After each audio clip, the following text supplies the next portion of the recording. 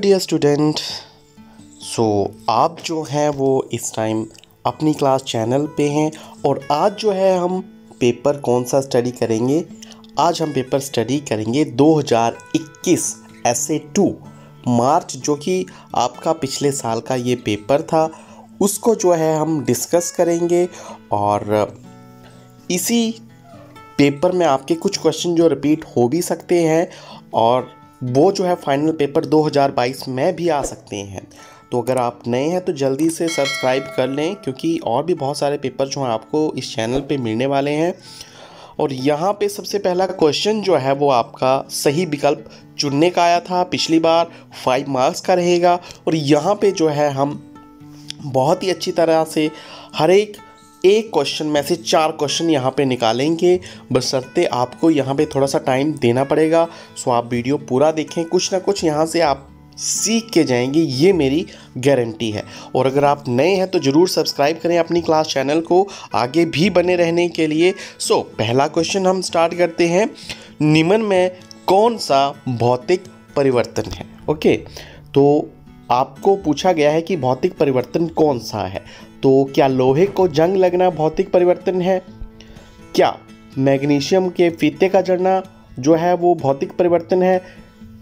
मोमबत्ती का जड़ना या फिर मोमबत्ती का पिघलना? तो यहाँ पे सबसे पहले हम जानेंगे कि लोहे को जब जंग लगता है, तब एक नया पदार्थ बनता है। और जब एक नया पदार्थ बनता है इट मीन्स वो रासायनिक परिवर्तन होता है। ठीक वैसे ही अगर मैग्नीशियम की बात लें तो मैग्नीशियम के फीते को जब हम जलाते हैं, तब भी एक नया पदार्थ बनता है। एक वाइट कलर की जो लो के साथ जो है वो जलता है और वाइट कलर की राख बनती है तो वहाँ पे भी एक नया पदार्थ बनता है।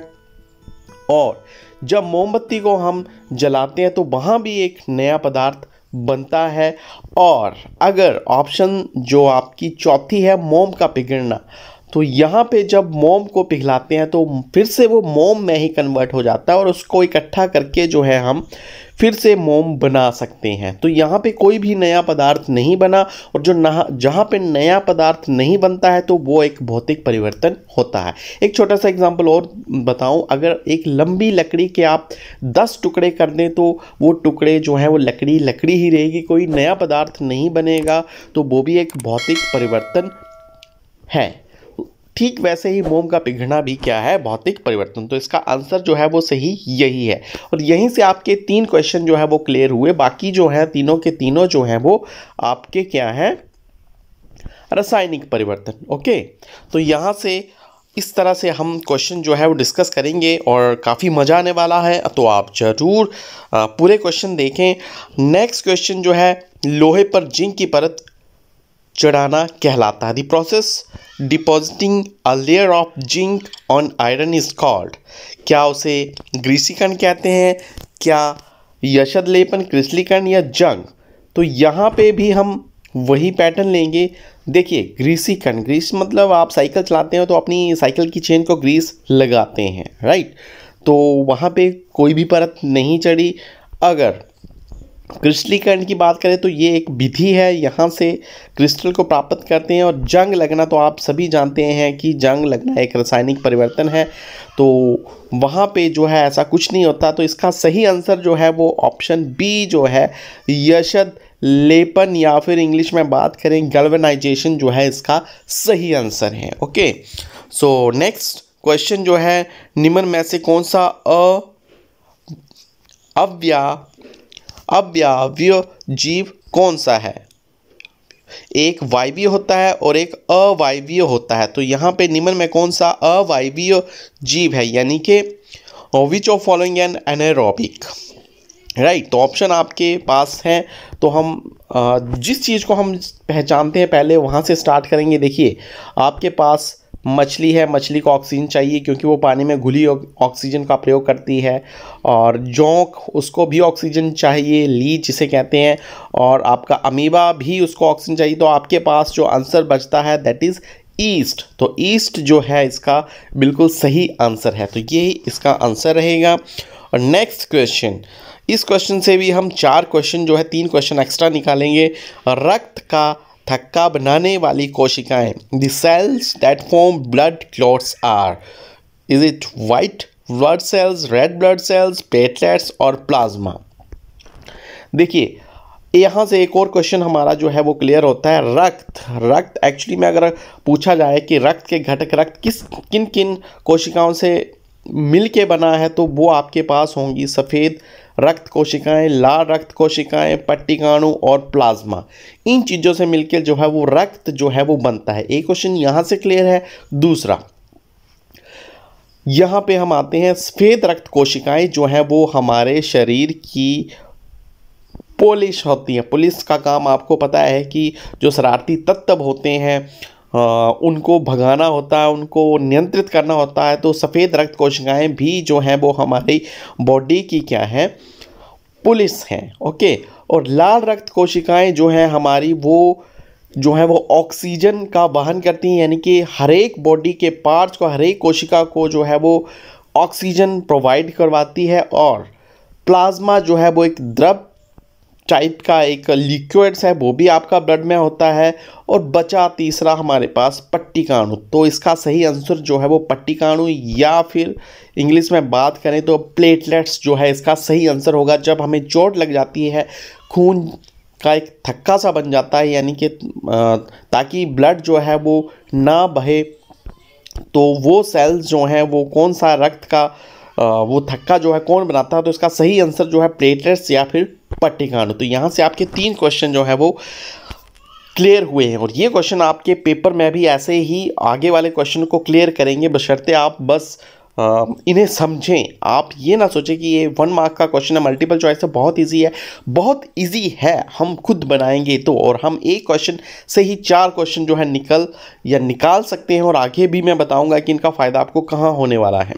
सो नेक्स्ट हृदय से ऑक्सीजन समृद्ध रक्त के शरीर के सभी भागों में ले जाई जाती है सो so, मैं यहाँ पे जो है oxygen which blood from heart is carried to all parts of the body by artery veins blood vessels capillaries तो हम यहाँ देखेंगे सबसे पहले धमनी राइट right? यहाँ पे पहली ऑप्शन धमनी है दूसरी शिरा है और जो आपकी चौथी है केशिकाएँ हैं और तीसरी जो है वो रक्त वाहिनी है। तो हम पहले, सबसे पहले धमनी के ऊपर आते हैं। धमनी जो है वो हमारे हृदय से जो है वो ऑक्सीजनेटेड या ऑक्सीजन से भरा हुआ ब्लड जो है वो हमारे फेफड़ों तक जो है, या हमारी बॉडी के हर एक पार्ट्स में जो है वो उस इसका काम जो है पहुँचाने का है। धमनी के द्वारा ही हमारे हर एक कोशिका में ऑक्सीजनेटेड या ऑक्सीजन से भरा हुआ ब्लड जो है पहुँचता है। और शिरा जो शिरा है, वो कार्बन डाइऑक्साइड से भरे हुए ब्लड को जो है, हमारी पूरी बॉडी से कलेक्ट करके फिर से कहाँ पहुँचा देती है, वो पहुँचा देती है फेफड़ों में। और फेफड़ों में क्यों? क्योंकि वहाँ पे फिर से ऑक्सीजन जो है वो ऑक्सीजन प्राप्त करे और वो फिर से हमारी बॉडी में सर्कुलेट हो तो इस तरह से जो है वो चक्कर जो है बना रहता है राइट तो इसका जो सही आंसर है, उसका धमनी। तो धमनी जो है वो सही आंसर रहेगा, लेकिन यहाँ पे याद रखने का तरीका मैं बता देता हूँ। धमनी। धमनी है बड़ी। धमनी और शिरा दो बहनें हैं। धमनी। धमनी बड़ी है तो ये काम भी बड़ा करती है। इसलिए ये काम बड़ा क्या कर रही है? हमारी पूरी बॉडी को जो है वो ब्लड ऑक्सीजनेटेड ब्लड ऑक्सीजन से भरा हुआ ब्लड जो है सप्लाई कर रही है। और शिरा इसकी छोटी बहन है तो वो जो है थोड़ा छोटा काम कर रही है लेकिन वो भी इंपॉर्टेंट है। सारी बॉडी से डीऑक्सीजनेटेड यानी कि कार्बन डाइऑक्साइड से भरा हुआ ब्लड जो है वो कलेक्ट करती है फिर से उसे ऑक्सीजनेटेड बनाने के लिए। तो अब आप बहुत सारे आ, का डाउट जो है क्लियर हुआ होगा और तीन क्वेश्चन और भी क्लियर हुए होंगे। तो नेक्स्ट क्वेश्चन आपको डायग्राम दिखाया गया है। आप जैसे कि आप देख पा रहे होंगे डायग्राम तो यहाँ पे किस पौधे में होता है ये? क्या वो कैक्टस में है? जी नहीं, ये कैक्टस का पौधा नहीं है, आलू में बिल्कुल नहीं। आलू की पत्ती से ऐसे छोटे छोटे प्लांट्स नहीं निकलते हैं। क्या ये हाइड्रा है? नो हाइड्रा भी नहीं है तो इसका सही आंसर जो है वो आपके पास ब्रायोफाइलम। ब्रायोफाइलम की जो है ये पत्ती है तो यहाँ से जो है इसका सही आंसर ग है, यानी कि C, bryophyllum. And next battery का प्रतीक है, सिंबल ऑफ़ बैटरी। जी हाँ सबसे पहले तो आपको थोड़ा सा मैं, हम ऑप्शन देख लेते हैं। पहला ऑप्शन जो है हमारे पास यहाँ पे जो है ये बल्लभ का है। यहाँ पे टॉर्च के बल्लभ, जो कि बल्लभ का सिंबल ये रहेगा तो एक क्वेश्चन आपका यहाँ से क्लियर होता है। और ये जो आपको ऑप्शन बी दिख रही है, यहाँ पे एक जो है वो जो लंबा डंडा है वो पॉजिटिव दिखा रहा है और छोटा वाला जो है नेगेटिव दिखा रहा है। तो ये एक सेल है इट रिप्रेजेंट सेल तो ये जो है वो सेल का सिंबल है और ये जो डी है, ये सियोजी तार या एक जो हमारे घरों में तार होती है या वो सिंबल दिखा रही है। और लास्ट में एक या एक से ज़्यादा सेल अगर किसी सर्किट में लगे हों, किसी परिपथ में हों तो वो बन जाती है बैटरी। तो बैटरी का सिंबल ये है, एक या एक से अधिक सेल यहाँ पे आप देख सकते हैं कितने सेल्स हैं वन एंड टू तो यहाँ से आपके तीन क्वेश्चन जो है, वो क्लियर हुए होंगे। ऐसी मैं आशा करता हूँ। एंड नेक्स्ट निमन में सही संबंध जो है, वो छाटिए। Correct the choose the correct relation चाल का, सही है?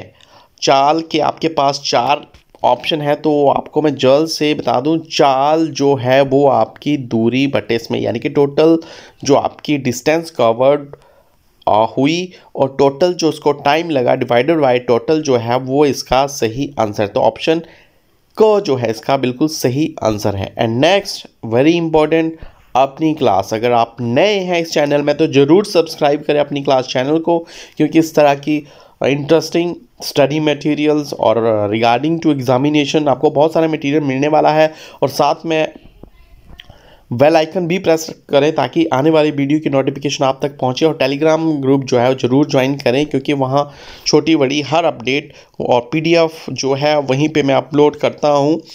एंड नेक्स्ट क्वेश्चन जो है निम्न में से सबसे मज़बूत तना किसका है? जी हाँ पेड़, झाड़ी, शाख या फिर लता, ट्री श्रव हव एंड क्रिपर। तो यहाँ पे जो है सबसे सबसे हमें स्ट्रॉन्गेस्ट चाहिए तो हम बारी बारी करके लेते हैं। पेड़ आपने देखा होगा, आम का डायग्राम जो आपके दिमाग में रखें, क्या उसका तना स्ट्रॉन्ग है, या फिर झाड़ी। झाड़ी आप देख सकते हैं, गुलाब का अगर आपका पौधा लगा हुआ तो वो भी या आपकी एक झाड़ी है तो क्या उसका तना स्ट्रॉन्ग होगा? शाख हर्व क्या उसका तना कोई जिसका तना जो है ग्रीनिश होता है तो ऐसा आपने दिमाग में रखिए। और लता लता मीन्स क्रीपर यानी कि ककड़ी आप बहुत पसंद होगी कईयों को, या फिर पम्पकिन कद्दू, उसकी आपने देखी होगी पहाड़ी में या आपकी लोकल लैंग्वेज में बेल भी कहते हैं उसे। तो उसका तना क्या मज़बूत होगा तो आपको मुझे लगता है सब इसका आंसर जो है पता चल चुका है। पेड़ का सबसे ज़्यादा है तो पेड़ ही क जो है, यानी कि ए जो है, वो इसका सही आंसर है। Okay? And next very important आपका कम्पिटिटिव एग्ज़ाम ये टेंथ के बाद जब आप नौकरी के लिए जाएँगे, तब भी आपको ये क्वेश्चन कहीं ना कहीं मिलेगा। विश्व जल दिवस कब मनाया जाता है? तो उसका सही आंसर जो है, वो है आपका 22 मार्च। ओके? तो ये आपके 10 मल्टीपल चॉइस क्वेश्चन थे और मैं ये आशा करता हूँ और मुझे ये विश्वास है कि आपने कम से कम यहाँ से 30 या हर एक क्वेश्चन से अगर तीन क्वेश्चन भी अगर निकाले होंगे तो तीस क्वेश्चन बनते हैं तो तीस क्वेश्चन जो है मैं आपके क्लियर करवा चुका हूँ। अगर ऐसा आपको लगता है तो ज़रूर कमेंट करें कि वाकई में आपको ये इस तरह से समझना या समझाना अच्छा लगा कि नहीं लगा। और क्या आपने पूरा वीडियो देखा कि नहीं देखा है? और क्या आपको इस वीडियो से कुछ हेल्प मिली आपके एग्ज़ाम के लिए कि नहीं मिली? तो आप मुझे ज़रूर बताएँ, तभी मैं आगे कुछ और पेपर्स लेके आ सकता हूँ। अदरवाइज़ मैं यहीं पे इसको स्टॉप कर दूँगा इस पेपर के बाद। ओके सेवन्थ के लिए, ये फ़र्स्ट वीडियो है मेरा सेवन्थ क्लास के लिए। सो नेक्स्ट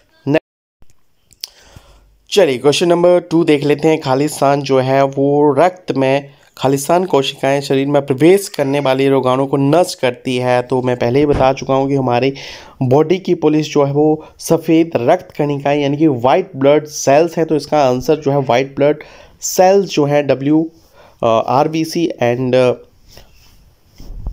जो हम, हमने पहले डिस्कस किया था वो है रक्त के बारे में जो हमने पढ़ा था, वही जो है आपका इसका सही आंसर है। सफ़ेद रक्त कोशिकाएँ जो हैं या कणिकाएँ जो हैं या फिर वाइट ब्लड सेल जो हैं, वो इसका सही आंसर है। ऐसे परिवर्तन जिनमें नए पदार्थ खालिस्तान पदार्थ बनते खालिस्तान परिवर्तन कहलाता है। तो पहले भी मैं डिस्कस कर चुका हूँ, अगर आपने ऊपर अच्छे से समझा होगा तो।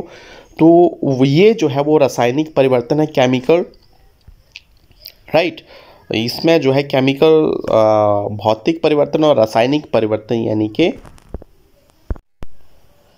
केमिकल चेंजेस ओके अगला देखें तो जनक पादप के कायिक भागों से नए पादप के उत्पादन को प्रक्रम को खालिस्तान कहते हैं। ये भी आपका ऊपर से ही आया तो इसे कहते हैं कायिक प्रवर्धन राइट शाक, बन, में, निमन, यानी कि लोअर, परत जो है वो बनाती है how form a lower layer in the forest तो ये क्वेश्चन नंबर टू जो है आपका टू मार्क्स का है और नेक्स्ट जो है वो सही गलत आएँगे। लोहा और जंग एक ही पदार्थ है। जी नहीं, बिल्कुल, दोनों ही अलग हैं। एंड भाप को संगनन रासायनिक परिवर्तन नहीं है। सो so, इसका आंसर जो होगा वो ये जो स्टेटमेंट है बिल्कुल सही लिखी है। भाप का संज्ञा रासायनिक परिवर्तन नहीं है क्योंकि इसमें कोई भी नई चीज़ जो है वो नहीं बन रही है। विद्युत घंटी में विद्युत चुंबक होता है and electric well has an electromagnet जी हाँ बिल्कुल होता है। तो ये जो है वो बिल्कुल सही है। मछलियों में श्वसन के लिए फेफड़े होते हैं। जी नहीं फेफड़े जो है हम इंसानों में होते हैं और मछलियों की अगर बात करें तो उनमें गिल्स या क्लोम होते हैं। तो ये स्टेटमेंट जो है वो टोटली जो है वो आपकी गलत है। नेक्स्ट आगे हम बढ़ें। बहुत ईजी है। Question number four two marks का। तो हम वो लेंगे जो हमें सबसे पहले आता है। तो अपने आप ही जो है ये हम सॉल्व जो है वो कर लेंगे। सो so, मछली के बारे में आप अभी आपने ऊपर खालिस्तान में मैंने आपको बताया कि मछली में क्या होते हैं? क्लोम्स तो मछली के लिए हम सीधे क्लोम्स के ऊपर जाएँगे राइट और नेक्स्ट जो है हम ईस्ट के लिए जाएँगे तो ईस्ट जो है वो बनाता है एल्कोहल ओके और डाइफ्रेम की अगर हम बात करें तो ये चेस्ट कैविटी है, यानी कि वक्स गुहा है।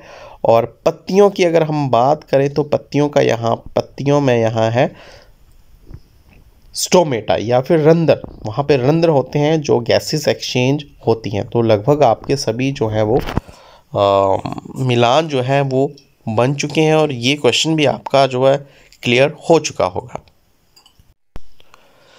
चलिए नेक्स्ट क्वेश्चन है किसे गतिक सजीव इकाई भी कहा जाता है और हरे फेफड़ों के नाम से किसे जाना जाता है? तो इसका आंसर जो है the forest forest are called dynamic living entity because of various plants animals and microorganism यानी कि इसका सही जो आंसर है वो भी दोनों का एक है फॉरेस्ट वन जंगल और इन्हें हरे फेफड़ों के नाम से भी जाना जाता है। सो so, नेक्स्ट जो है आपका डायग्राम है चित्र में दर्शाए गए विद्युत परिपथ को निरूपित करने के लिए परिपथ और खींचिए। तो ये जो है वो आप इसको भी ड्रॉ कर सकते हैं। बुक का ही ये क्वेश्चन है तो वहाँ से आप देख सकते हैं। और अगर यहाँ पे आप देखना चाहें तो वो भी मैंने ड्रॉ कर दिया है तो ये जो है वो इसका आंसर जो है वो रहने वाला है। एंड नेक्स्ट जो है आपका खुद का अपनी क्लास चैनल तो अगर आप एक बार फिर से आपसे वही बात अगर नए हैं तो ज़रूर सब्सक्राइब करें और वीडियो को लाइक करें। अगर आपको मज़ा आ रहा है पढ़ने में तो आगे भी मैं इस चीज़ को जारी रखूँगा। सो ज़रूर सब्सक्राइब करें आप अपनी क्लास आपका खुद का ये मंच, खुद का आपका चैनल जो है। सो नेक्स्ट हम बढ़ते हैं दिए गए नामांकित चित्र को नामांकित कीजिए। Level level the given diagram आपने जो है इनका लेवल करना है, यानी कि इनको नाम देना है तो डायग्राम आपके सामने है। चलिए, इनमें से और करके है, जो भी आपको अच्छे से याद है, वो आप ज़रूर लिखें। तो एक मैं आपको बता दूँगा और दूसरा आपने खुद नाम देना तो इसका जो नाम है, वो अंकुरित होता हुआ आपका पराकन है या फिर एंथर है। और ये जो आपका पूछा गया है, इसका नाम जो है, वो अंड कोशिका है, ओके? जो आपका ओवम सेल है, ओके? और एक आपके लिए छोड़े जा रहा हूँ, जिसके आप मुझे नाम कमेंट बॉक्स में कमेंट दें कि मैं भी देखना चाहता हूँ कि आप कितने सही जो है वो लिखते हैं। सो नेक्स्ट रक्त का रंग लाल क्यों होता है? Why the blood red in colour that is due to haemoglobin तो हीमोग्लोबिन के कारण जो है वो ब्लड रेड होता। अलैंगिक जनन की विभिन्न विधियों का वर्णन कीजिए and describe the different methods of asexual reproduction तो यहाँ पे ये थोड़ा बड़ा क्वेश्चन है थ्री मार्क्स का है तो आपको उस हिसाब से ही लिखना पड़ेगा, लेकिन मैं फिर भी यहाँ पे आपको बता दूँ कि अलैंगिक जनन या ए सेक्सुअल रिप्रोडक्शन जो है, वो मेनली चार तरह की है, मुकुलन, खंडन, बीजाणु, उत्पादित और कायिक प्रवर्धन यानी कि ये चार तरह की हैं तो आप इनको अच्छे से डिस्क्राइब जो है वो करें, तभी आप पूरे मार्क्स जो है वो ले सकते हैं। और बीजों में प्रकीर्णन की विभिन्न विधियाँ, ये आपको ऑप्शन करके जो है क्वेश्चन दिया गया है तो इसके भी आपके चार जो है पॉइंट हैं। क्या वो पानी के द्वारा प्रकीर्णन वायु के द्वारा प्र वायु के द्वारा और जंतुओं के द्वारा, और लास्ट में झटके से फटने के द्वारा जो है, वो इनके चार पार्ट्स हैं। और next question question number ten ये ऑप्शन करके दिया हुआ था। 2021 में जो था, वो आया था। और इसमें किसी गली में 50 घर जिसके जिनके लिए 10 नलकूप लगाए गए हैं। भौम जल स्तर पर इसका दीर्घ अवधि प्रभाव जो है, वो क्या पड़ेगा? तो नेचुरली अगर भौम जल स्तर पर क्या प्रभाव पड़ेगा? आप खुद जान सकते हैं कि वो नीचे ही जाएगा, ओके? तो वह ज़्यादा डिटेल में नहीं बताऊँगा, आप थोड़ा सा समझ के इसको लिखिए, समझाएँ कि वनों में विभिन्न प्रकार के जंतु और पादपों में के होने की आवश्यक क्यों है? जी हाँ तो ये सभी का होना ज़रूरी है, अगर एक भी बीच में कोई श्रृंखला से मिस हो गया। फॉर एग्ज़ाम्पल अगर डियर्स अगर हिरन बढ़ गए तो हमारी फ़सलों को खा जाएँगे। यहाँ से मैं आपको इतना ही बताऊँगा। बाकी आप बुक में डिटेल में आपने पढ़े नोटबुक में नोट किया होगा और उत्सर्जन तंत्र का नामांकित चित्र बनाइए। चार नंबर का क्वेश्चन है तो इसे भी ज़रूर आप बनाएँ और थोड़ी प्रैक्टिस करें। बहुत अच्छे से आप चार नंबर जो है वो ले सकते हैं और सेक्शन डी में देखें तो ढाई ढाई नंबर के क्वेश्चन है वायवीय अवायवीय श्वसन के बीच है और अंतर ये भी क्वेश्चन बहुत इंपॉर्टेंट है। वायवीय means in the presence of oxygen और अवायवीय mean in the absence of oxygen ठीक है? सो नेक्स्ट क्वेश्चन समझाइए कि लकड़ी का जड़ना और छोटे टुकड़ों का काटना दो विभिन्न प्रकार के परिवर्तन क्यों हैं? जी हाँ बिल्कुल।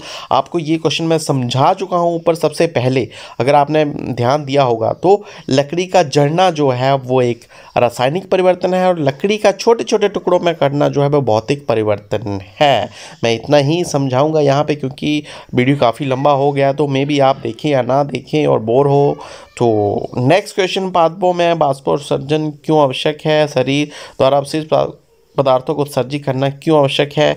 और आपका जो है एक्सप्रेशन एक पूछा गया तो बहुत ही इजी है ये टू मार्क्स का। और लास्ट में अपनी क्लास आप ज़रूर सब्सक्राइब करके जो है वो इसमें आप यही है कि आप अपनी क्लास चैनल ज़रूर सब्सक्राइब करके जाएँ।